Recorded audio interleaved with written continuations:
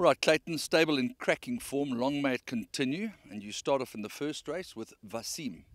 Yeah, uh, Mr. Bond. Uh, yeah, he's he's also actually uh, showing us some some decent type of work. You know, um, uh, very nicely bred horse. Um, you know, he's he's improved from his first start. Um, so yeah, I think he'll appreciate the step up in trip. And uh, yeah, with Anton on, uh, you know, he'll be given every opportunity to to come through and shed his maiden. Both Magic Vision and War Jewel represent the sham stable. Yeah, Andrew, um, War Jewel's been getting there slowly. I think we asked too much of him as an early juvenile.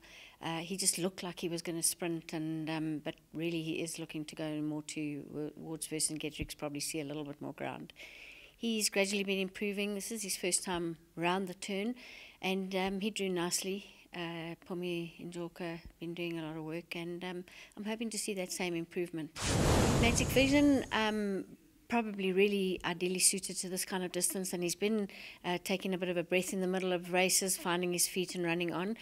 Unfortunately, he's drawn right on the outside, but um, we decided to, to let him have the run mostly as a uh, further step in his education.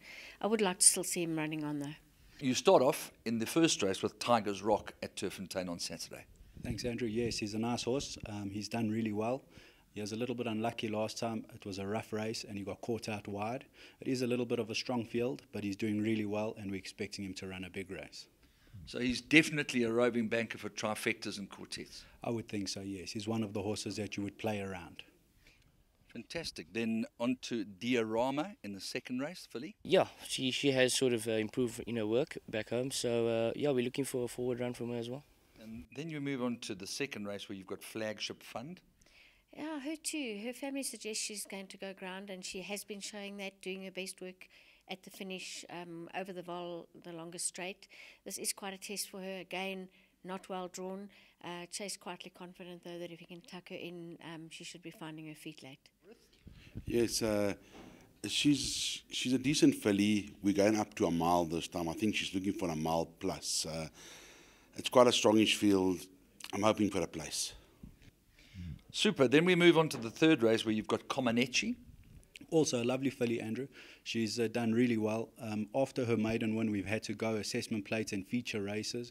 So she hasn't really had the chance to, to run against a weaker type field. Not that I'm saying this is really weak, because she's got to take on Arabian Air and Crown Guardian. But off the weights, I think um, she'll run very well. She's definitely looking for the 1450, and off a good draw, we expect a big run. A lot in her favour. A lot in her favour. We're on to a fraud in race four with Shady Affair. Yeah, we started with the fraud. Uh, yeah, also, also it's um, definitely bred to go further. He, you know, he's, probably looking for further, but uh, he's been showing us some very nice work. He's, you know, he's, he's also has a bit of class about him, I think. But yeah, he would definitely come on with the run. Uh, I wouldn't discount him. You know, if he, if he runs on and, and runs a, a decent enough forward race, then you know we, we have we we've certainly got an idea of where we are with him. Uh, Shady Affair, uh, possibly uh, looking for further. He does have a, a, a draw to overcome, but um, yeah, also also it's been showing us some decent enough work. Uh, possibly one to look at, uh, you know, in the, in the future with, with, with more ground. Okay, lovely. And then La Gertha is in race number five. Yeah, uh, also improved in her work uh, from after her first start. Um, yeah, I, I, do think that she can she can obviously be competitive. Uh, doesn't look a particularly strong field with all due respect to other runners. So yeah, if she, if she does if she does bring her, her work, her current work to the races, then uh, we could have a shot with her as well. Uh, she needs a little bit further. We're just hoping for a bit of an improved run. Dabian, he's obviously not going to Hollywood, but um, he'll have his day. Yeah, yeah. Uh, look, he looks well. His, his work's been pretty decent. Uh, I thought he's come down to a nice competitive rating, and his form line's not that bad. So, yeah, we we're obviously expecting him to to run a forward race there. Give me hope, Joanna. She's going to be as fit as a fiddle. She is. Uh, she's a very fit horse. She looks well. Uh, work's always decent. Uh, she's an honest horse. You know, she tries.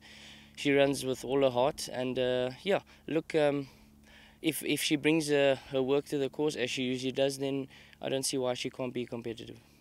The sixth race sees a horse that's clearly named after your boss, Joey Somer. Yes, and, and, rightly so.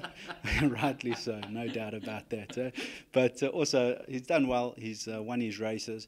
He pulled up sore after his last start, which we've had to give him a break, of course, freshened him up. He'll need the run, but he's a horse to follow in the next two or three starts. Uh, this is the ideal trip for Rocky. Uh, he's doing well at home, and uh, I think he has a decent each way chance.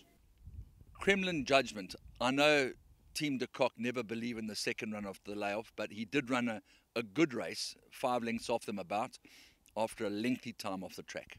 Yes, considering the time that he that he was off, he ran a creditable race. Um, yeah, obviously I think he'd still be in need of an, another start before we can actually be competitive with him.